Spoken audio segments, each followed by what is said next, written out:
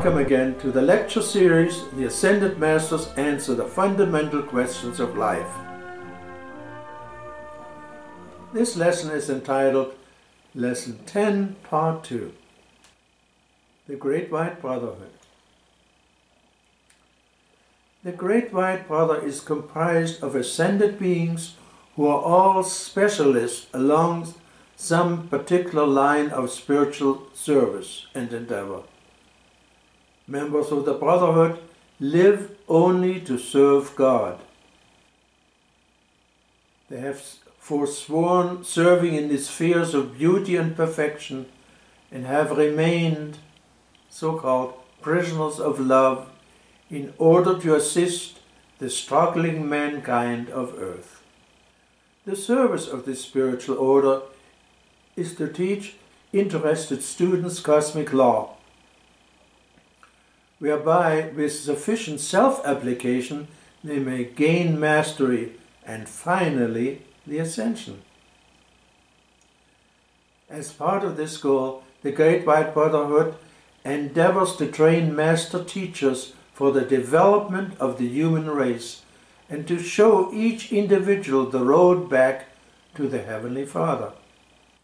In doing so, the Great White Brotherhood is limited by several factors. 1.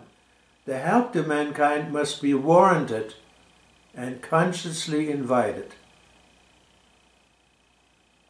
2. The Master's help is subject to the cosmic laws as they apply to this planet. These laws must be obeyed. Any deviation therefrom must be approved by the Karmic Board, and there must be a very good reason given in order to obtain a variance. 3. In order to accomplish its purpose, the Great White Brotherhood is given a cosmic stockpile of energy on the average once every 100 years. This stockpile is then used to con contact an individual who will act as a messenger and will just provide a bridge from the human to the divine. The messenger will convey to mankind the ongoing activities of the Brotherhood and will give out new explanation and additional details of the laws governing our planet. One master said, we are allowed only a certain amount of energy in a given cycle of time to invest in the evolution of the race.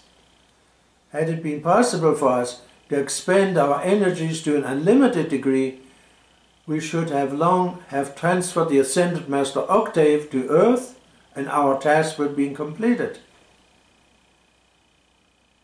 However, the cosmic law demands a balance for this investment of our spiritual energies. If we show such a balance, almost without question, the law gives us additional energies to further our cause. Given these severe restrictions, the members of the Great White Brotherhood are overjoyed when they see that there has been a good response and their efforts have fallen on fruitful ground. One master said that if one dozen committed Chelas could be found in one century the Brotherhood would consider itself fortunate indeed. The Great White Brotherhood is not an outer organization. Only by living and expressing the perfection of the heavenly realms on the physical plane, by self-correcting of human weaknesses, by full adoration of the divine self within, and by performing a certain amount of impersonal voluntary service can an individual draw himself into association with the brotherhood. The ascended host directs the attention of the Chela, but it is up to the student to make the right choices. No individual has ever made the ascension without the assistance of an ascended master.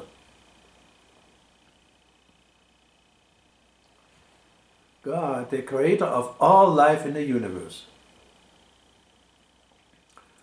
God, the great I am, is the creator, owner, and giver of all life in the universe. His powers, abilities, and consciousness are beyond human comprehension. They are beings that govern several galaxies. A galaxy is composed of the central sun and several planetary systems. Each planetary system consists of one sun and several planets.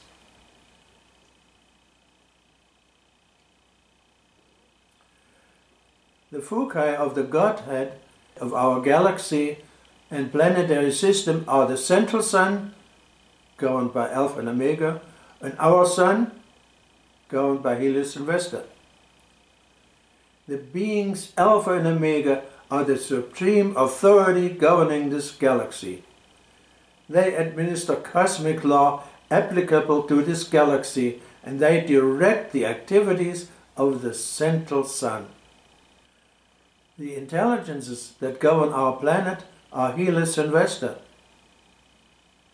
It is the nature of God to allow His children the opportunity of becoming co-creators with Him. The functions of the karmic board. The karmic board has the following responsibilities. 1 to administer the laws of the galaxy as they apply to the planet Earth. It meets twice a year to consider petitions from the Brotherhood and from unascended beings. Typically, those petitions with the greatest amount of support from both the students and the Ascended Masters are given the greatest chance to be approved. There must be a good probability that the energy given by the Ascended Host and loaned to mankind will eventually be balanced by practical works of the students. All petitions are subject to final approval by the cosmic beings Alpha and Omega. The decisions by the, made by the karmic board and Alpha Omega are final. There can be no appeal. 2. To open the book of life which is a summary of the experiences of the last embodiment for each individual who passed through experience called death, showing how the individual used the energy of the last embodiment, constructive or otherwise. 3. To examine each individual and grant or not grant the individual the opportunity to re-embody at a certain place at a certain time. This procedure is known as the Day of Judgment. The Ascended Lady Master Kuan Yin explained, no lifetime receives in any embodiment any karma, then his development will allow him to completely transmute within that lifetime. There is no disease, no distress or condition which through the law of justice and mercy is to be experienced by any life stream in that embodiment that is greater than the developed consciousness and power of the individual to whom that karma rightfully belongs. This is the law, and you may tell it from the housetops. The karmic board does not have the prerogative to allow only Chelas of the Ascended Masters to embody. The masses must also allow to come in for spiritual development and mastery. Therefore, the members of the karmic board are not beings waiting to mete out punishment. Their one service to God is to find ways and means by which each soul can be given the greatest opportunity for spiritual progress, to balance his debt to life, and to complete the goal of all life, the ascension. The tremendous fear and dread which the Orthodox world has induced in mankind concerning the day of judgment is unfounded and unfortunate indeed. It is primarily built upon the fact that very few individuals live up to their promises to the light and therefore reap the fruits of their harvest.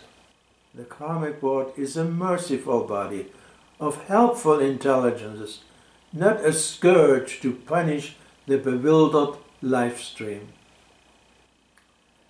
The members of the karmic board are Portia, she is the goddess of justice and spokesperson for the board, the goddess of liberty, Nada, the goddess of love, Pallas Athena, goddess of truth, Elohim Vista, Kuan Yin, goddess of mercy, and the great divine director, who is the Manu of the seventh root race.